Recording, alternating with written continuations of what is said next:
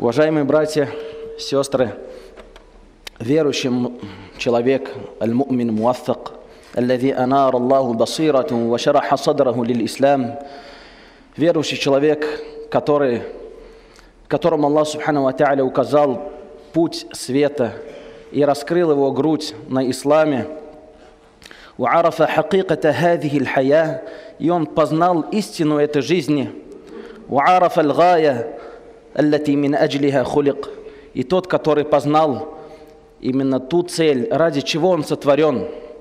Верующий человек, которому Аллах Субхану Тааля открыл путь на ислам, раскрыл его грудь на ислам, он понял, ради чего Аллах Субхану Тааля его сотворил.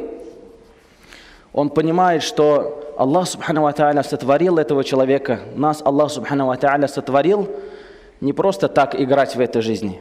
Аллах Субхану Тааля говорит, «Афахасибтум аннама халакнакум абаса» Неужто вы подумали то, что я вас сотворил просто так здесь играть? Небеса, ас-самават, аль-ард, аль-джибаль, аль-анхар, небеса, земля, горы, реки, все это Аллах Субхану просто так сотворил? Нет.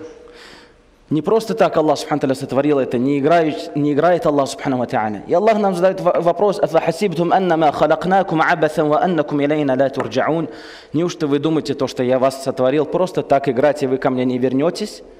Человеку, когда говоришь, ты играешь, он обижается. А как же может быть Аллах муназза анил абаth? Аллаху Субхану Тааля непристойно играть. И тогда здесь человек понимает, что Аллах Субхану Тааля сотворил нас ради чего? Каждый пускай сам себя спросит. Вот мы живем, проживаем эту жизнь, каждый день с какими-то ситуациями сталкиваемся. Иногда забывает человек, ради чего он сотворен, и просто на минуту остановиться и задаю сам себе вопрос, ради чего Аллах Субхану меня сотворил? Аль-Ибада, ради поклонения. «Вама халакту джинна валь инса илля ли'абудун». Я сотворил джиннов и людей ради того, чтобы они мне поклонялись. И после этого, после этой аль-гая, после этой цели, то, что цель нашего создания в этой жизни, ради чего Аллах Субхану нас сотворил, это аль-ибада. После этого человек понимает то, что натиджатуха, итог этого поклонения аль-джанна, рай, которым Аллах Субхану обещал верующим и тем, которые поклонялись Ему. И наджат минаннар, спасение от мук ада, от наказания ада. Эти, чтобы достичь эту цель, великую цель, аль-джанна, есть некие пути. Сахабы спрашивали, радван Аллаху алейхим, пророка Мухаммада, саллаллаху алейхи вассалям, Муаф ибн Джабаль, Муаф ибн Джабаль, радаллаху анху, спросил у посланника Аллаха, саллаллаху алейхи вассалям, «Я Расул Аллах, дуллани аля аль-амаль, юдхилини аль-джанна, ва юнаджини мин нар О посланник Аллаха, укажи мне на такую вещь, которую бы я делал, и эта вещь меня введет в рай и спасет меня от ада. На что Пророк, саллаллаху алейхи вассалям, сказал, «Суалюка аль-азим, суалюка аль-азим, твой вопрос великий». То есть, ядулля аля азаматик, твой вопрос указывает на величие. Муад бин Джабаль не спросил, как мне, укажи мне, как заработать там на верблюда, как продать это, как это. То есть смотрели сахабы далеко вперед на великие вещи. Укажи мне на действие, о посланник Аллаха, который ведет меня в рай и спасет меня от наказания ада. Пророк, саллаллаху алейhi сказал, «Суалюка ля азим, ва иннаху ля ясир, аля ман яссараху Аллах». Поистине твой вопрос великий, но однако путь туда легкий. Путь, чтобы войти в рай и спастись от огня, он легкий. Потом пророк, саллаллаху алейхи вассалям, объяснил ему, но в сегодняшней вот этой лекции хотелось бы указать на четыре вещи, из-за чего человек в судный день попадет в ад.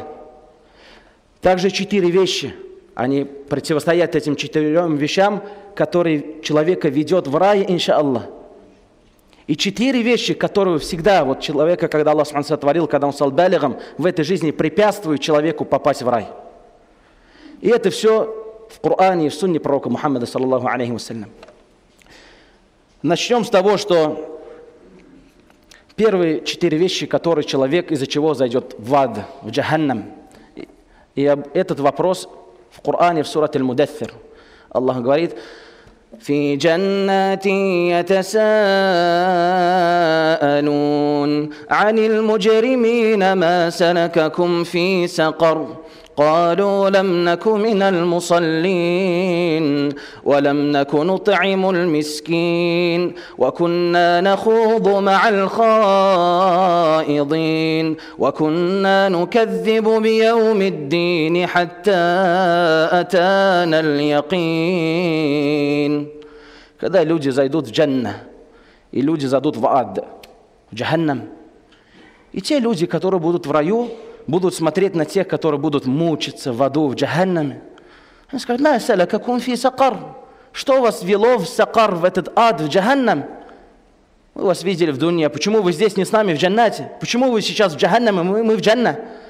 Первый ответ – «Лам миналь мусаллин». Мы не читали намаз. Мы не читали пятикратную молитву. Первое за что? их ответ, почему они там наказываются, они с ними вместе в раю. Уважаемые братья, намаз, ассаля, Аллах Субхану в Коране во множестве аятах говорит, وَأَقِيمُوا الصَّلَاةَ وَآتُوا الزَّكَاةَ وَأَقِيمُوا الصَّلَاةَ Читайте намаз, повелевает Аллах Субхану Ва Аллах Субхану Ва не говорит, хотите читайте, хотите нет. Аллах Субхану Ва приказывает, повелевает, «Акиму саля» читайте намаз. В хадисе сказано, «Буни аль-ислам аля хамс» Наш ислам, наша вся религия опирается на пяти столпах. Первый – шахада, алла илляха иллаллах, ва анна Мухаммадан Расулуллах. Свидетельство, что нет божества, достойного поклонения, кроме Аллаха, субхану ва та'аля. И то, что Мухаммад раб и посланник Аллаха. Второе – ва иками саля, чтение намаза. Также пророк Мухаммад, саллаллаху алейхи вассалям, сказал, ас-салату имаду дин. Намаз – это тот столб, на что опирается религия. Если сейчас вот убрать столпы, здание рушится. Также религия опирается на намаз, на саля. Поэтому человек задает вопрос, иногда бывает, удивляешься, опять же, вот с разными ситуациями сталкиваешься. Человек пришел, там, у себя на родине читал намаз, сюда приехал, все, оставил намаз. Он ищет какие-то причины, почему не читаешь намаз, потому что я на такой-то, такой-то работе работаю, это у нас времени нету и так далее. Как так, субханаллах? Какой баракат от твоей работы, если она тебя отдаляет от основного? Ты же, Аллах тебя же не сотворил, чтобы работать. Аллах Субхану тебя что? Работа это аль-василя, а не гая. Работа это то, посредством чего ты зарабатываешь, чтобы кушать, чтобы э, там кормить семью, одеваться, покупать себе там жилье и так далее. Но основное это не основное. Аллах Субхану тебя не ради этого сотворил. Лиль-ибада, Аллах Субхану сотворил ради поклонения, Субхану ва та'аля. Поэтому тебя вот эта вот работа отдаляет от основного, от намаза, от саля. Пророк Мухаммад, саллаллаху алейхи вассалям, перед смертью сказал три раза «Ас-саля, ас-саля, ас-саля, вама малаката иманукум». То есть перед смертью уже, когда уже последние вздохи брал из этой жизни, посланник, саллаллаху алейхи сказал «Намаз, намаз, намаз». То есть, опять же, посмотрите, когда человек, кто-то из вас видел, наверное, человек, когда он умирал, или там навещал его в больнице, он что, собирает, а самым важным хочет, последнее, самое важное хочет сказать. Собирает своих детей вместе, там быстрее принесите, пока он там, там у него родственники наследство, чтобы разделить, он расписывает им, так, этому сыну я это оставляю, этому сыну это, этой дочери то, завещание пишет, какие-то последние слова дает, слезы из его глаз текут. Пророк Мухаммад, саллаллаху алейхи последний, сказал, намаз, намаз, намаз. Некоторые люди говорят, я вот читаю по-своему, по-своему верю. Как ты можешь по-своему верить? Я вот утренний намаз читаю, это мне достаточно. Или там я утренний, ночной, утром, когда просыпаюсь, или перед сном читаю. Аллах Субхану Тааля приказал вот так вот читать. Не как ты хочешь, не как тебе кажется, не как твои шахаваты, твои страсти, а как Аллах Субхану Тааля повелевал. Вот так вот нужно э, поклоняться Субхану Тааля. Сказано, что пять намазов нужно читать, пять намазов. Это приказ Аллаху Субханаху Тааля. Все вместе это называется ассаля. Не только отдельный утренний намаз, я читающий намаз. Нет, все пять намазов, это считается, считается, что ассаля, считается, что намаз. Почему хикма, мудрость в том, что человек должен читать пять раз в день, а не один раз, не, не два раза. Потому что на протяжении дня человек поддается разным искушениям. И намаз его спасает от этого, от всего плохого. Аллах в Коране говорит, «Инна салата танха аниль фахшай валь мункар». Поэтому намаз запрещает человеку делать все, плохое, все греховное. Это его защищает, это его очищает. Аллах Субхану прощает между намазом и намазом грехи человеку. Поэтому человек, когда приходит, чтобы сделать, например, скажем, никах, это он знает, а намаз он не считает. Намаз намного важнее, чем этот никах. Или когда спрашиваешь шахаду, скажешь, ля иляха Аллах не может правильно сказать, человек уже 40 лет. Видно, что. Опять же, симахум фи вуджухихим мин аthari суджуд. Аллах в Коране говорит то, что их лика можно познать молящихся от того, сколько они делали сажда земные поклоны Всевышнему Аллаху Субхану Тааля. Опять же, человека, который молится, можно определить среди людей, что он молится или нет, по его нуру, который в его лице. Также Умар ибн Хаттаб, радаллаху анху, убили его во время намаза, был салатуль фаджр. Когда на рынке Медины один делал изделие из металла, и тогда он подарил Умар ибн Хаттабу хинджар, такой э, кинжал. Во время намаза, утреннего намаза, этот же человек прошел через ряды джасус и убил его, пырнул его. Потом начал приходить, проходить между рядами молящихся одного, второго, третьего. Когда сахабы встали, окружили его, кинули на него кольчугу, он взял, сам себя убил. Умр ибн Хаттаб очнулся. Умр ибн Хаттаб очнулся, после этого уже расцветало. Первый вопрос, какой он задал? Ассалейтум, дочитали ли вы намаз? Я стоял среди вас. То есть он не задал, кто меня пырнул, как это случилось, почему вы не смотрели, что случилось, что со мной. Первый, что у него сразу же в голове, дочитали вы намаз или нет? Прочитали вы намаз или нет? Калю наам, сказали да. Тогда сказал своему сыну, Абдуллах хатильма, принеси мне воду. Сахабы думали, то, что он потерял много крови, чувствует жажду. Он взял омовение и дочитал намаз. После этого он сказал, «Мен каталани», «Кто меня убил?» Уже чувствовал смерть. «Мен каталани», «Кто меня убил?» Сказали, такой-то, такой-то, не молящийся, то есть не был мусульманином. «Альхамду лиллахи аллади таваффани аля яди раджуль, лам ясджуд саждатан кат». «Альхамду я благодарю Аллаха, субхану ва та'аля, то, что Он забирает мою душу посредством того человека, который не сделал ни один намаз». То есть он не был из числа молящихся. Альхамду то, что меня не молящийся человек убил. Потому что молящийся человеку непристойны такие вещи. Альхамду Поэтому намаз, первый ответ их, те, кто в аду, мы не были числа молящихся. Второе, мискин. Мы не кормили бед, бедных людей. Первое, они отрезали сами ветвь с Аллахом, И также они отрезали сила, вот эту вот связь созданием Аллаха. У них было только все, о чем они думали, о своих животах, о своих богатствах, о своих семьях, но они не помогали нуждающимся. Хотя это большая награда. Человек, когда должен, даже когда он помогает, он должен сделать это с любовью. И должен, не должен ничего в ответ ждать. Иногда человек помогает, вот я ему сколько помогал, там, родственнику и так далее, а они там даже спасибо не говорят, не буду я больше. Аллах в Коране, когда не спасал ая в сурат Аль-Инсан, когда Али ибн Аби Талиб и Фатима, радаллаху анха, когда они пекли, э, он принес, Али ибн Аби Талиб принес муку, и они сделали из этого хлеб. И тогда проходили э, люди, и они их накормили, то есть сами держали пост и отдали всю эту пищу им. ويطعمون الطعام على حبه مسكينا ويتيما وأسيرا. Вначале прошел мискин, они ему отдали. Дальше опять начали печь. Ятим прошел, ему отдали сирота. Дальше прошел асир, пленник, ему отдали. Им ничего не осталось на ифтар. «Иннама нутаимукум ли ваджхилла, ла нуриду минкум джазаам валя шукур». Мы вас кормим ради Аллаха. Не хотим от вас ни похвалы, ни спасибо, ничего нам от вас не надо. Ради Аллаха, субхану ва та'аля. إن نخاف من ربنا يوم عبوسا قمطريرا فوقاهم الله شر ذلك اليوم ولقاهم نظرة وسرورا وجزاهم بما صبروا جنة وحريرا И дальше идут аяты, сурат Аль-Инсан можете прочитать. Мы их боимся Аллаха, субхану ва та'аля. У нас есть трепет перед Всевышним Аллахом, субхану ва та'аля. Аллах заменил им э, наказание, вот это страх судного дня, заменил на радость И вечно джанна, за то, что за этот поступок. Также вспомним, когда пророку Мухаммаду, саллаллаху алейхи вассалям, пришел один из гостей, пророк, саллаллаху алейхи вассалям, привел его домой, и спросил у своих супруг, «Халь индана шей, что-нибудь есть покушать?» «Ма индана илля У нас ничего нет в доме пророка Мухаммада, саллаллаху алейхи вассалям, кроме воды. Когда сахабы начали соревноваться, даже не спросили дома, что у них есть или нет, взять гостя пророка Мухаммада, саллаллаху алейхи вассалям. Один из ансаров привел его домой. «Халь индана шей, ма индана ли кувату атфаль?» На что спросил у своей супруги, есть что-то покушать? Ничего, кроме как остатки еды для детей. Тогда он сказал, «Науми латфаль» усыпи детей, разогрей эту еду, и он накормил его, и тогда он, что он подумал, что он как бы богатый и так далее. Тогда пророк, саллаллаху алейхи на следующее утро пришел и сказал, «Джаани Джибриль факаля, лакад аджаб Аллаху би'амаликум аль То есть пришел ко мне Джибриль, алейсалям, и передал то, что Аллах был удивлен вашим поступком, вашей, поступком с вашей супругой, то, что вы совершили ночью. Второе, что? Первое, за что люди зайдут в ад, в сурат Аль-Мудассир сказано это то, что они не читали намаз. Второе, они не кормили бедняков.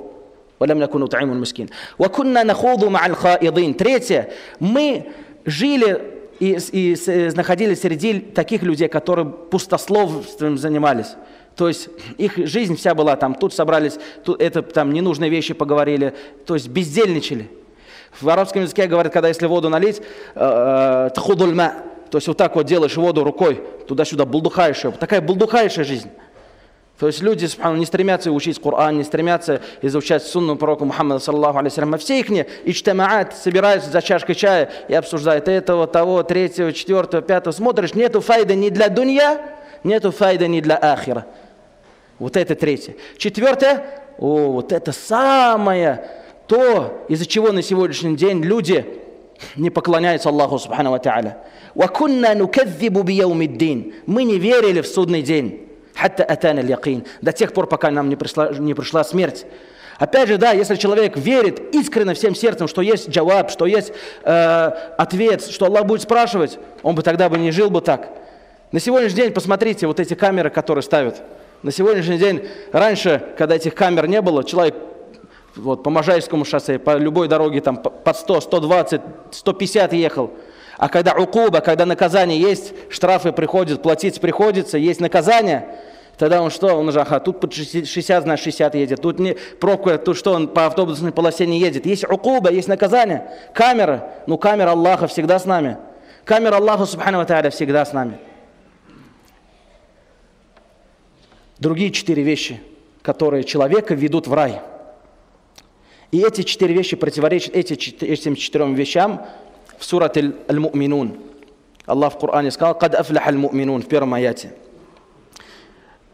Преуспели верующие. Ай дахалюль джанна, то есть зашли в рай. Почему? Потому что когда Аллах, субхану ва сотворил рай, и все, что сотворил там, маля айнун раат,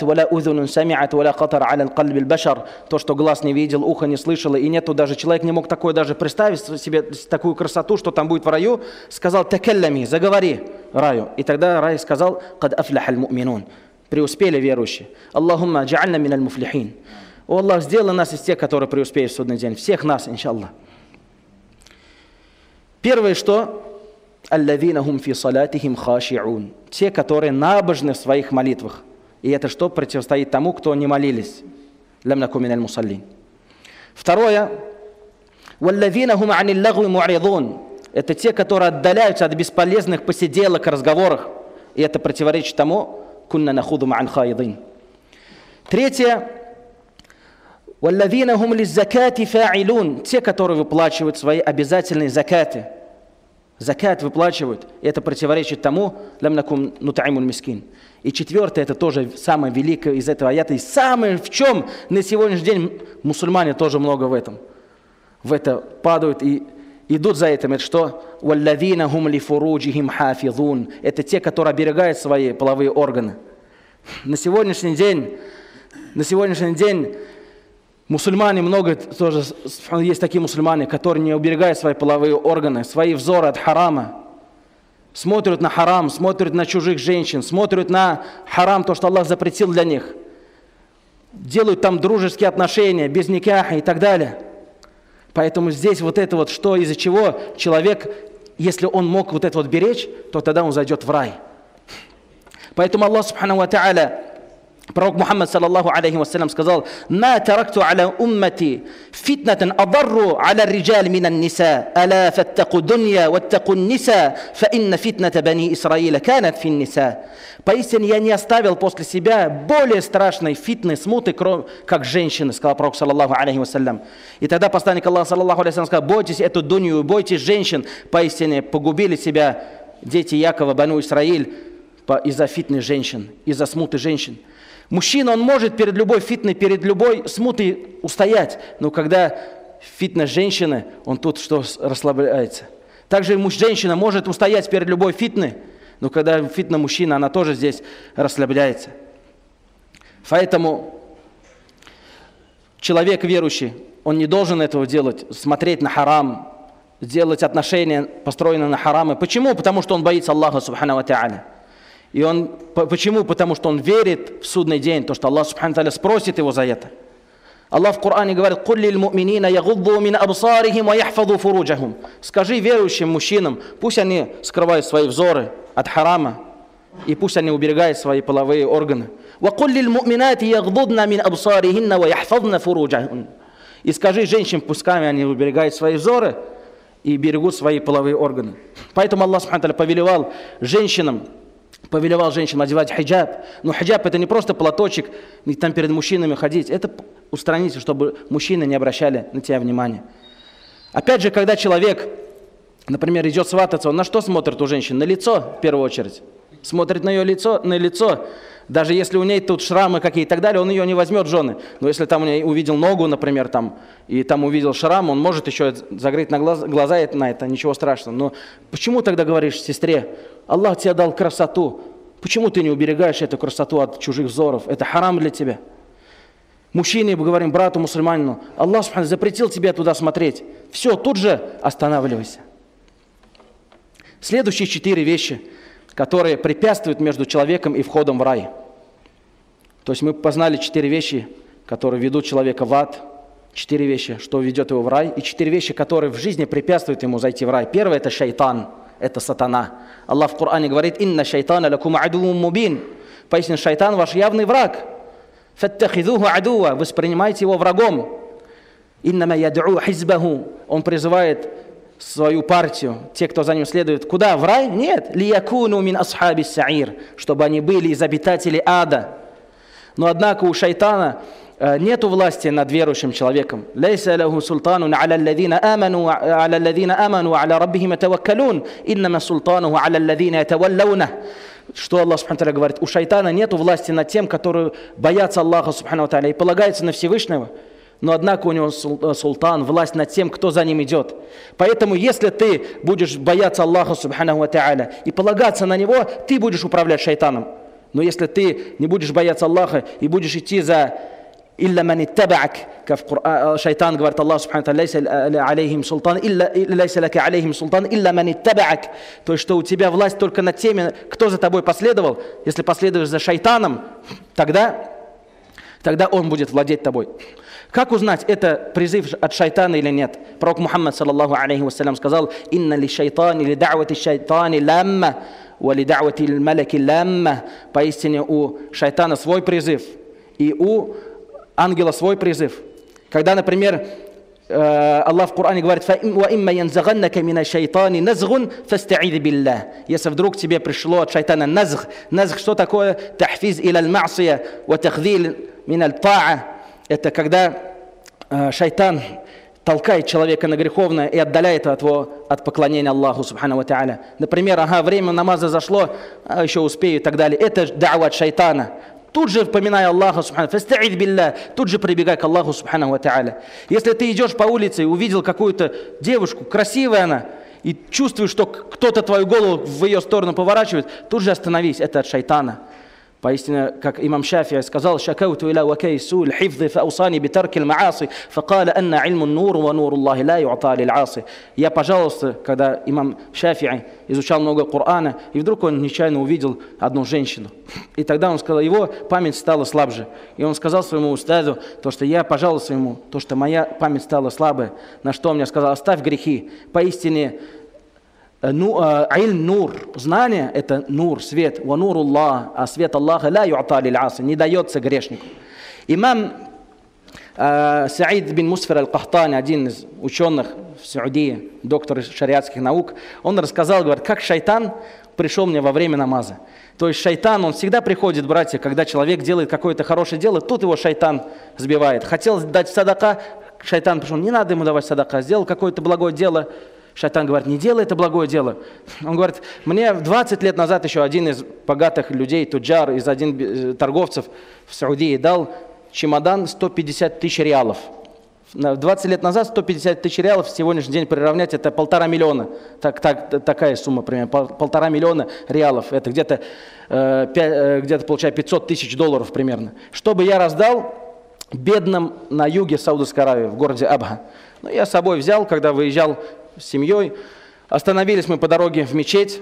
Я взял чемодан с собой, когда снимал ботинки, оставил его перед входом, забыл про этот шанта, про, эту, про этот чемодан.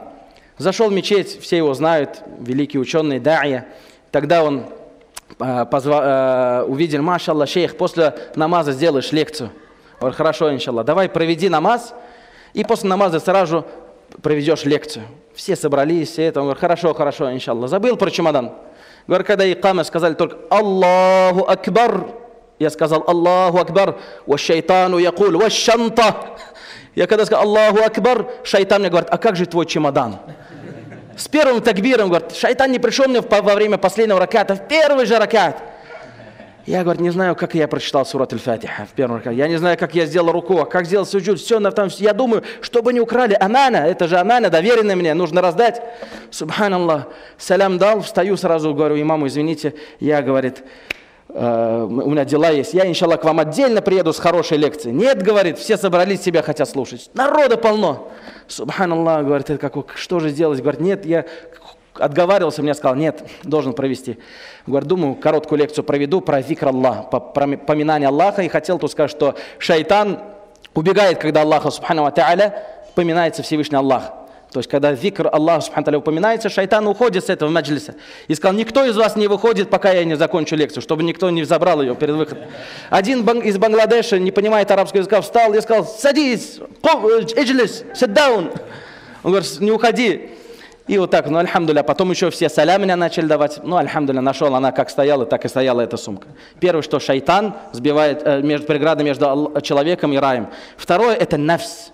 Нафс – это страсти, аль-хава вот это вот хава, страсти, настроение человека. Я не хочу, например, это делать, я не хочу благое дело делать. Аллах в Коране, когда описывал нафс, сказал, «Инна нафса ла аммара, аммара тумбиссу». Поистине, нафс, вот это страсти, человека сильно повелевает делать плохие дела, грехи. Не сказал просто «амира», повелительница, нет, аммара с усилением. Когда есть какой-то там игрок, футболист, говоришь «ляиб», игрок. А когда говоришь «ляб», значит Мубалага фил васф. То есть, говоришь, очень сильный футболист.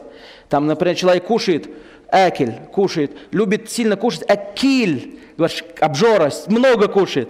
Вот тоже Аллах в Коране говорит, аннара, поистине, нафс, э, вот этого страсти человека повелевает а не человека делать грехи плохое действие. Поэтому Аллах в Коране говорит, «Амма ман хафа макама раббихи ва нафса анил хава, фа инналь джанната хияль ма'ва». Пояснит тот, кто боялся Аллаха, встречи с ним в судный день, и сам же воспитывал свою душу, свои страсти, запрещал ей идти за хава, за своими страстями, тогда он заслужит рай. Нафс, дорогие братья, это как конь, если ты на него сядешь и будешь управлять им, тогда он тебя довезет. Если ты не можешь управлять, он тебя скинет и сбросит, и дальше пойдет. Поэтому это второе, это нафс. И третье, это дунья. То, что препятствует между человеком и входом в рай, это дунья. Имеется в виду здесь харам, а не так, как некоторые понимают, то есть думают, если человек там живет бедно, значит он как бы приближенный к Аллаху. Нет, альхамдулилlah, Аллах сахабы все были туджарами, сахабы все были торговцами. Уthман, радаллаху анху, тасаддака би 300 баир. Уthман, радаллаху анху, дал на пути Аллаха 300 верблюдов. Тогда пророк Мухаммад, саллаллаху алейхиссалям, сказал, ма дарра Уthман, ма санаа ба'да яум. Ничего больше не навредит Уthману после его сегодняшнего поступка. Ничего ему не навредит. Поистине, альхамдулилlah, как сказано, المال النعمة النعمة المال الصالح بيد الرجل الصالح. То есть какое благо вот это вот халяльного богатства в руках благочестивца, праведного человека. И четвертое, и на этом заканчиваем, то, что человеку препятствует зайти в рай, это люди, аннас. Это люди, это плохой друг, плохая жена, плохие там люди, с которыми он общается. Поэтому в судный день человек будет жалеть, будет сильно жалеть из-за того, с кем он общался, если его окружение было плохое, если его окружение были грешники. То есть человек, бывает такой, сколько случаев, человек был благим, был праведником, познакомился с плохими людьми, сразу он стал плохим человеком.